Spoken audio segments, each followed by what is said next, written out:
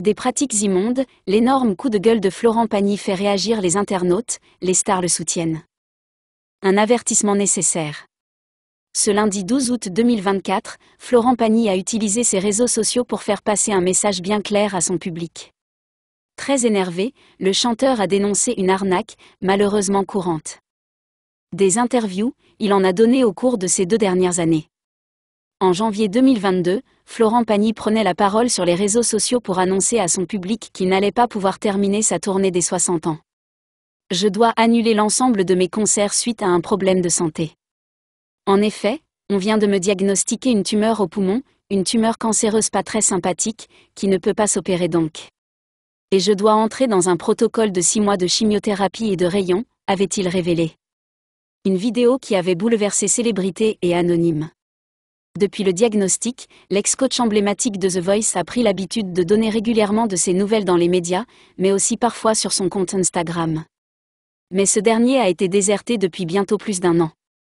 Florent Pagny brise le silence sur les réseaux sociaux. C'est donc avec surprise que ces centaines de milliers d'abonnés ont découvert ce lundi 12 août une toute nouvelle vidéo de leur chanteur préféré. Face caméra, Florent Pagny a d'abord fait un court bilan de son état de santé. Tout va bien. Depuis un an, j'ai fait quatre contrôles qui sont bons, stables, mais après avoir vécu deux récidives, on sait qu'il ne faut pas crier victoire trop vite et pendant quelques années j'aurai ces contrôles, mais pour l'instant c'est bon, mes cheveux ont repoussé, mon ventre aussi, signe de bonne santé, a-t-il déclaré. Si les nouvelles sont bonnes, ce n'est pourtant pas pour cette raison que l'interprète de Savoir aimer est sorti du silence sur les réseaux sociaux. Je vais vous montrer un petit film qui a été envoyé à une dame, une fan qui depuis quelque temps croyait entretenir une relation directe, privée, avec moi. Elle s'est fait escroquer de quelques centaines d'euros et sa fille ayant découvert cette histoire a dû réagir, a-t-il expliqué avant de dévoiler une vidéo dans laquelle il apparaît pour rassurer cette admiratrice sur ses intentions.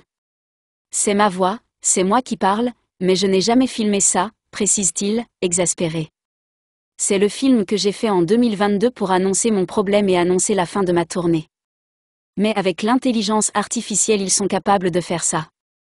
Ils se traitent même de pirates, ce sont des ordures. Très énervé, le chanteur de 62 ans a donc mis en garde son public et leur a demandé d'être moins naïf. La mise au point de Florent Pagny saluée par les internautes. Vous ne pouvez pas imaginer une seule seconde qu'un artiste, ou une personne publique, puisse vous donner par le biais des réseaux sociaux un numéro de téléphone ou un contact. Ça n'est pas possible. Si vous ne l'avez pas rencontré, ça ne peut pas arriver, a-t-il rappelé. Une mise au point nécessaire qui a fait réagir de très nombreux internautes. Ses abonnés ont en effet tenu à saluer l'initiative de Florent Pagny qui permettra sans doute à certains fans de ne pas tomber dans une sombre arnaque. Vous êtes, comme toujours, bienveillant et intelligent. Ce message est très important et concret, merci de l'avoir fait, merci de dénoncer ces pratiques immondes, bravo pour cette intervention, quelle honte, peut-on lire dans les commentaires.